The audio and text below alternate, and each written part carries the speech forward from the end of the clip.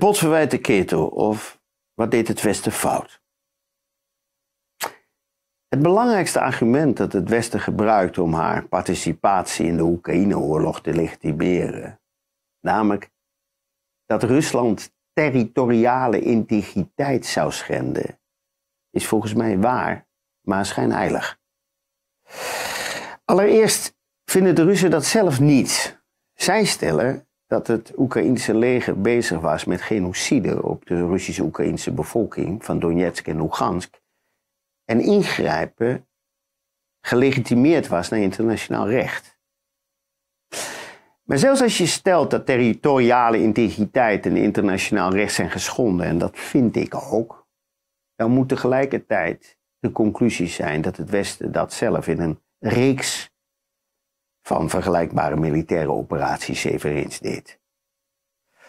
Afghanistan 2001, Irak 2003, Syrië 2011, Libië 2011. Het zijn maar enkele van de vele schendingen van internationaal recht en territoriale integriteit door met name Amerikanen, Britten en Fransen. De pot verwijt de ketel dat hij zwart ziet.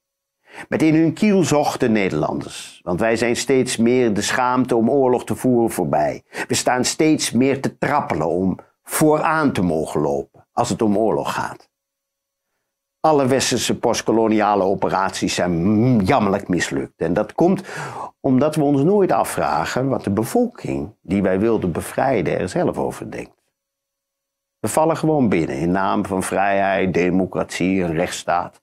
In Afghanistan hebben we tienduizenden mensen gedood, vernietigden de infrastructuur, vloerden de economie, stelden in feite een twintigjarig repressiebewind op. Na twintig jaar ellende in Afghanistan vertrekken we in de zomer van 2021 over haars met de staart tussen de benen. Het bleek een nieuw Vietnam te zijn geworden. In Vietnam had het Westen tenminste nog een kritische media. In Afghanistan is de media verworden tot het propagandaapparaat van westers postkoloniaal imperialisme. Het was allemaal voor de bevolking. Maar ja, die zag ons liever gaan dan komen. En de volgende desastreuze oorlog was een feit.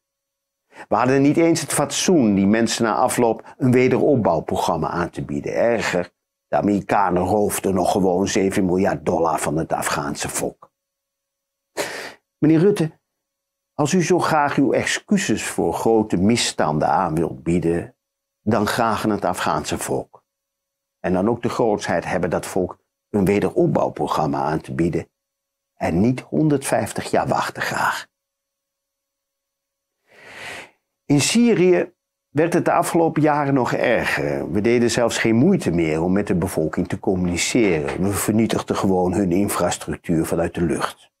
Duizenden raketten zijn ook door Nederlandse F-16's afgeschoten. Hele steden en dorpen zijn door westers voer tot ruïnes gemaakt. Energiecentrales, vitale civiele voorzieningen zijn genadeloos uitgebombardeerd. Alles wat we Rusland verwijten, terecht of onterecht, hebben we de afgelopen jaren in veel fout zelf gedaan. Alles.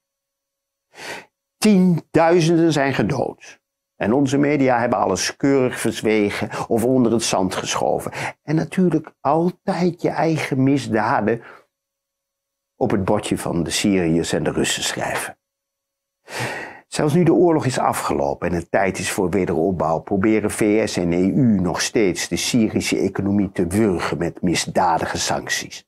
Excuses, meneer Rutte. En een wederopbouwprogramma voor het volk van Noord-Syrië. En niet 150 jaar wachten graag.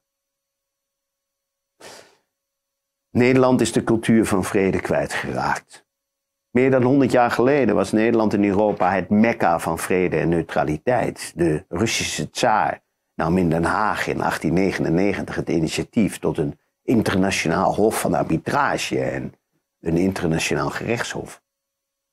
De Amerikaanse miljonair Carnegie schonk Den Haag in 1913 het Vredespaleis. Vrede, onderhandeling, verzoening en compromissen. Dat waren nog eens tijden. Tragisch genoeg brak een jaar later wel de Eerste Wereldoorlog uit, maar Nederland distancieerde zich en bleef neutraal. Sinds de Tweede Wereldoorlog zijn we door de NAVO niet meer neutraal en de afgelopen jaren worden we steeds oorlogszuchtiger. Onze politiek en media geven steeds hardere en eenvoudige legitimaties aan militaire operatie en oorlog. In Nederland heersen de oorlogshitsers in het debat. Den Haag is niet meer de hoofdstad van de vrede, maar is een centrum van haat, internationale strafprocessen en tribunalen. Hoe gaan we uit de Oekraïne komen? Door te stoppen met wapenleveranties, om de onderhandelingstafel te gaan zitten, om het poëtisch te zeggen, zwaarden omsmeten tot ploegscharen. Stoppen met de wapenwetloop en stoppen met de kernwapenwetloop. Stoppen met de economische sanctieoorlog die in ons eigen gezicht ontploft. En het Europese volk veel harder straft dan de Russische politieke leiding. Oorlog is een complex en duur proces. Vrede is relatief eenvoudig. Je moet het alleen wel willen. Ik wil hier afsluiten met een parabel. Stelt u zich Oekraïne voor als een huwelijk tussen een Europese Oekraïense man en een Russische Oekraïense vrouw. Ze hebben samen een kleine winkel en krijgen op een gegeven moment van de Europese multinational een associatiecontract aangeboden. Het associatiecontract is exclusief en betekent dat men het zaken doen met de Russische concurrent moet afbouwen. De man hoopt ooit deel te worden van de Europese multinational en wil daarop ingaan, maar de vrouw weigert de verbinding met haar Russische familie en hun bezit op te geven. Er ontstaat een conflict, wat zo uit de hand loopt dat de man de vrouw te lijf gaat, wanneer zij het huis uitvlucht naar haar Russische familie. Daarna gaat zij in hun familie Dacia aan de oostkant van de stad wonen en kondigt een scheiding aan. De Europese Oekraïnse man is diep gekwetst. Hij weigert de scheiding, komt in de Dacia en vernielt de inboeding. Zij vraagt wanhopig de hulp van haar familie. De vader van de Russisch-Oekraïnse vrouw biedt aan haar belangen met de man uit te onderhandelen in het bijzijn van de directeuren van de Europese multinational. Ze stellen samen een scheidingsregeling vast die iedereen tekent.